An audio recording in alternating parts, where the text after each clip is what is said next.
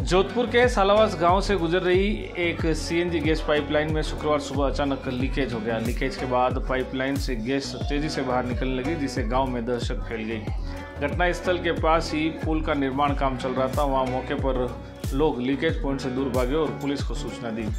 जानकारी के बाद विवेक विहार व बोरानाड़ा थाना पुलिस का जाब्ता भी मौके पर पहुँचा। गैस कंपनी की टीम भी मौके पर पहुँच गई और करीब आधे घंटे तक गाँव में गैस फैलती रही। टीम की ओर से लीकेज को बंद करने के प्रयास किए जा रहे हैं। सालावास गाँव में पुल निर्माण चल रहा है। शुक्रवार सुबह निर्माण कार्य के दौरान पुल के नीचे ज़मीन से गुजर रही सीएनजी गैस पाइपलाइन क्षतिग्रस्त हो गई, जिसे तेज आवाज़ के साथ गैस रिसाव होने लगा।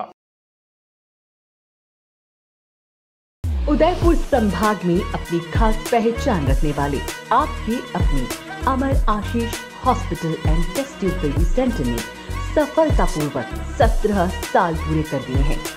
डॉक्टर मीना सक्सेना की देखरेख में इस अस्पताल ने आईवीएफ सेक्टर में हज़ारों महिलाओं को मातृत्व सुख प्रदान किया है। इस आईवीएफ सेंटर पर परामर्श के साथ पूरी चिकित्सा सुविधा भी उपलब्ध है। वहीं डॉक्टर अनंत सक्सेना द्वारा हृदय रोगी संबंधी इलाज व परामर्श के साथ two D echo and T भी उपलब्ध है।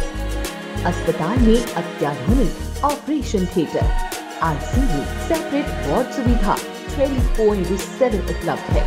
तो आज ही संपर्क करें।